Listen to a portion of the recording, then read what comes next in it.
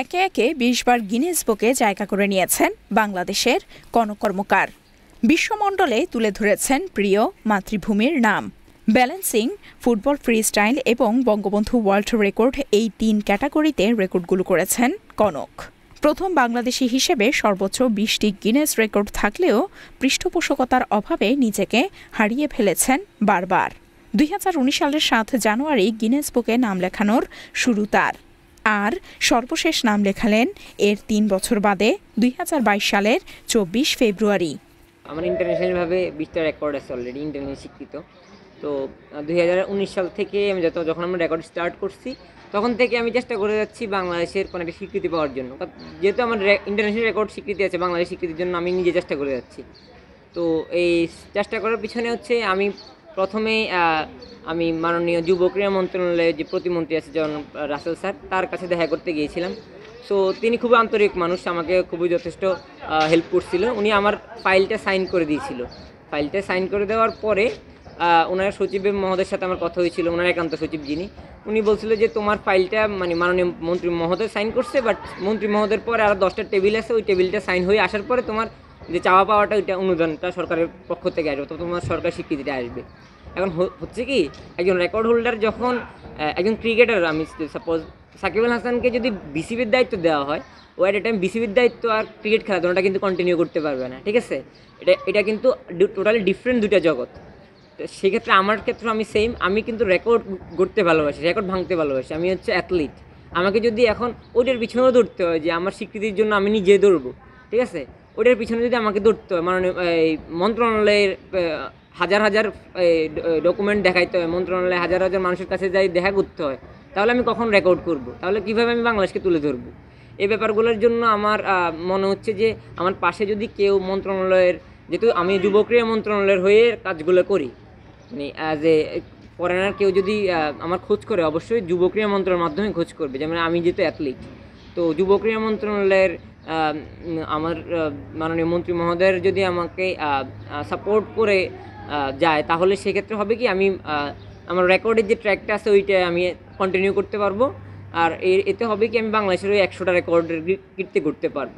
কিন্তু এখন হচ্ছে কি, আমি এখন যাচ্ছি রেকর্ডের দিকেও যাচ্ছি, আবার হচ্ছে আমার এই মন্ত্রণালয় দৌড়ে দৌড়েও যাচ্ছে। দুইটা দুই দিকে চলে যাচ্ছে, মাঝখান দিয়ে আমার ফ্যামিলি প্রেশার দিচ্ছে যে, তুমি ইঞ্জিনিয়ারিং পড়াশোনা কন্টিনিউ করো। এখন তিনটে প্রেশারে আমি কিন্তু ডাউন হয়ে যাচ্ছি।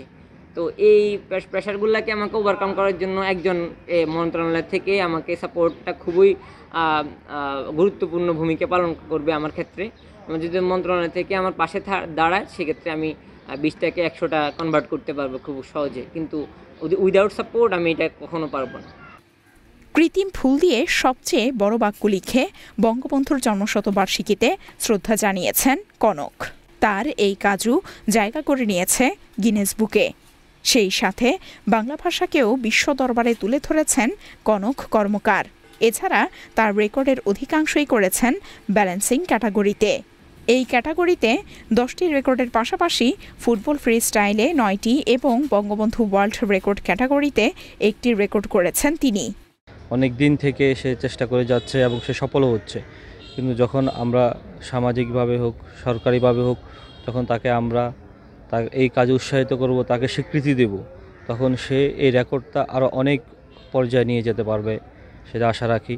আমরা চৌমনি পৌরসভার পক্ষ থেকে আমরা যতটুকু পেরেছি তাকে সহযোগিতা করেছি, তার পাশে এসে দাঁড়িয়েছি। আমরা চাইব সরকারের অন্য অন্য মহল, সরকার অন্য অন্য সমস্ত অন্য অন্য মন্ত্রণালয় যারা আছেন, তারা যেন কোনো কর্মকারের পাশে এসে দাঁড়ায়, তার এই কাজে তাকে উৎসাহিত করে এবং তার এই পথ যেন সে আরও অনেক উপরে যাইতে পারে। সবাই সম্মতিভাবে এবং মাননীয় প্রধানমন্ত্রী জনতে শেখ হাসিনার কাছে আমি আবেদন জানাচ্ছি, কোনো কর্মকারকে তার স্বীকৃত, তার প্রাপ্যটা যেন সে পায়, সে যেন এই কাজকে আরও ত্বরান্বিত করে, সে আরও উন্নত শিখরে যেন পৌঁছতে পারে। কনক সহযোগিতা চাচ্ছে, আমি বলি যে এটা কনক না। আমরা যারা ক্রীড়াঙ্গনে আমরা প্রতিনিধিত্ব করি, আমরা মনে করি আমাদের সকলেরই দায়িত্ব কনককে আরও এগিয়ে দেওয়া।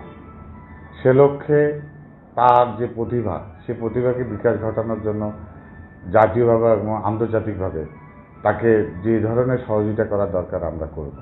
আমরা তার পাশে থাকব। সকল সময়। চৌমোহনীর বেগমগঞ্জের কনক কর্মকার, সে ফুটবল নিয়ে বিভিন্ন ধরনের অনুশীলন করে থাকে। ইতিমধ্যে সে গিনেস বুক অফ ওয়ার্ল্ড রেকর্ডে বৃষ্টিতে সে রেকর্ড স্থাপন করেছে এবং আমি জেনেছি সে আরও রেকর্ড করতে চায়। এই লক্ষ্যে সে কাজ করে যাচ্ছে। তার লক্ষ্য একষট্টিতে সে রেকর্ড স্থাপন করবে। এটি একটি ভালো উদ্যোগ, তাকে আমরা ধন্যবাদ জানাই এবং সে এই কাজটি করার জন্য তার পৃষ্ঠপোষকতা প্রয়োজন মনে হচ্ছে। সে এবং আমরা আমাদের পক্ষ থেকে যদি কোনো পৃষ্ঠপোষকতা করা যায় বা কোনো এরকম সংস্থার সাথে যদি যোগাযোগ করতে পারে, আমাদের সরকারি কোনো সংস্থা বা সরকারি আমাদের ক্রীড়া মন্ত্রণালয়, এরা যদি এগিয়ে আসতে পারে, আমাদের পক্ষ থেকে এটা আমরা যতটুকু সম্ভব আমরা তার পক্ষে কথা বলার চেষ্টা করব। কনক কর্মকার বর্তমানে লেখাপড়া করছেন ড্যাফোটিল ইন্টারন্যাশনাল ইউনিভার্সিটিতে। সেখানে ইলেকট্রিক্যাল অ্যান্ড ইলেকট্রনিক্স ইঞ্জিনিয়ারিং বিভাগের দ্বিতীয় সেমিস্টারের ছাত্র তিনি।